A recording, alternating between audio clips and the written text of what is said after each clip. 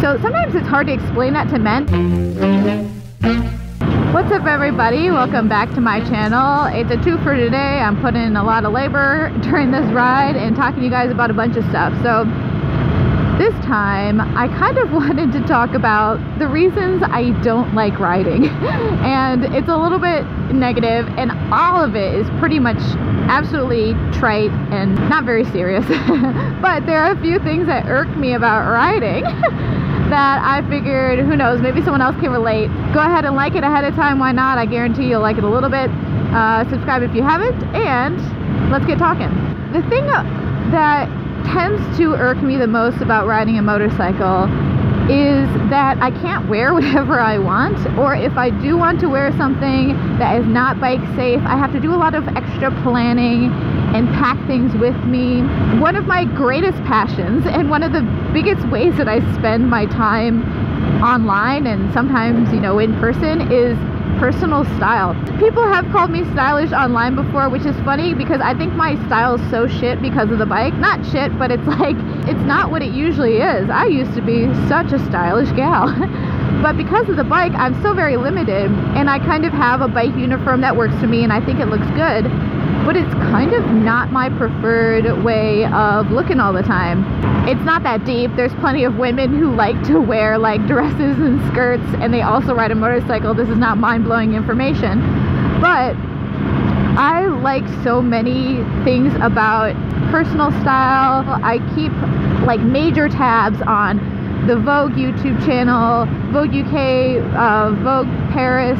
I like paying attention to high fashion. I tune in during fashion week. There's like stuff that I care about that goes beyond just like liking to look put together. It is like I enjoy high fashion and I enjoy stuff that maybe isn't always attractive or flattering, but is like stylistically interesting.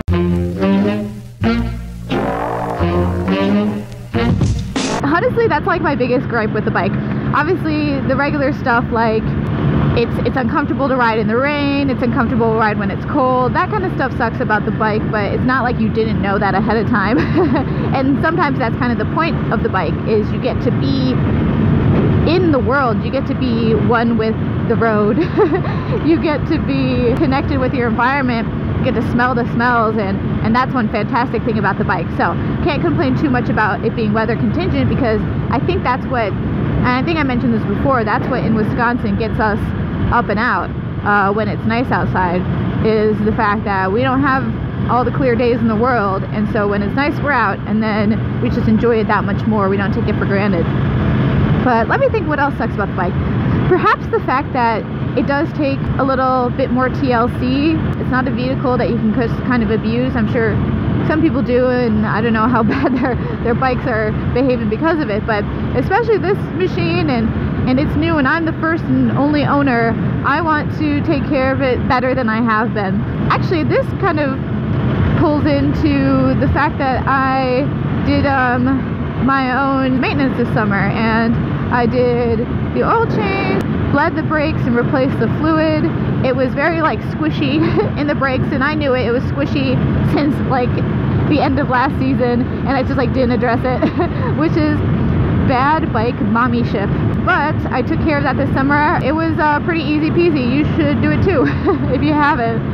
Especially things like oil change and and brake fluid. Unless your bike is like I don't know still under warranty and it would void the warranty to work on it yourself which I don't think it does in that capacity like do it man. It's uh not that hard. And save yourself a little bit of money because Ducati maintenance is expensive.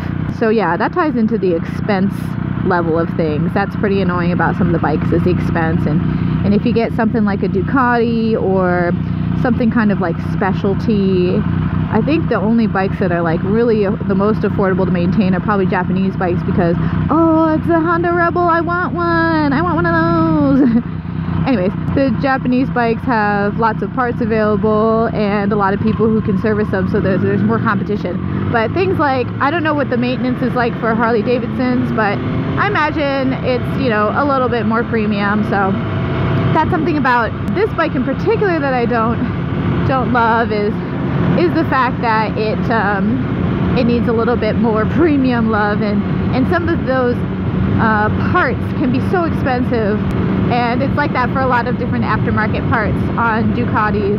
That's one thing about a lot of different bikes is you have to, to pay to play if you want to change even simple cosmetic things. I mean, on Dan's FZ09, there's this cowl that can go on the uh, half of the seat that the passenger goes on and it's gorgeous to add this cowl. And it looks stunning and really seamless and really completes the look of that bike especially if you don't have a passenger on the back very often like who cares? I have a cowl on the back of my bike and I haven't taken it off once.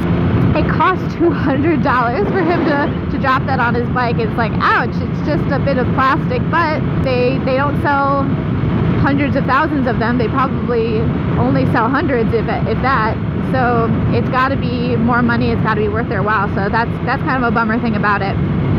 But let me think cost what else can one complain about when it comes to bikes? I suppose if someone were to spend a lot of time on their hair then that could be pretty annoying because the helmet can can wreck that a bit. I've not really noticed helmet hair. I think that's because low-key my hair is always kind of bad. Not bad but I don't do much to my hair. It's just not a priority to me. Obviously, don't put the helmet on wet hair. I think that's like a death sentence, but that's kind of an annoying thing about the bike is it can ruin your hair game if, if you've got really nice hair. Other than that, um, gear can be kind of costly. I mean, it is costly. That's another downside of riding in general. And there's not a whole lot of variety when it comes to gear. And hell, the bike, the, the jacket that I wear most is actually not like an official riding jacket. It doesn't have like armor in it or Kevlar. It's just a leather jacket. And, you know, obviously that's not the most safe of me, but it's also just the thing I'm willing to wear most often. I do have other jackets that are pretty great, but just ends up shaking out this way. Uh-oh, we have some rain. Well, I think I've been babbling for long enough. Thanks so much for listening to my rant on why I don't like riding sometimes.